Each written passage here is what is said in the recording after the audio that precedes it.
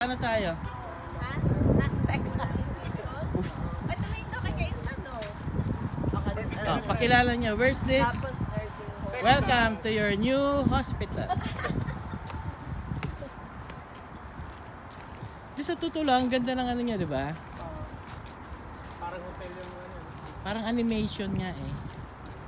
Oh, ano ba? Nakifeel mo na ba? Medyo, ano pa? Wala pa. Nakifeel Kunting push pa. maliit lang. Content push pa. Ayun ang ano Push dito more. sa ah, push pa more. Wala lang, happy happy lang.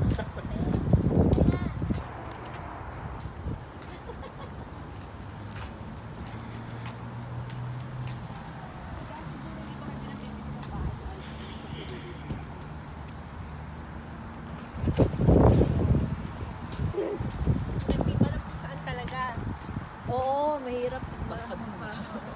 Tubag mo ko pa. Saka ganun siya paglabas. Saka ganun siya.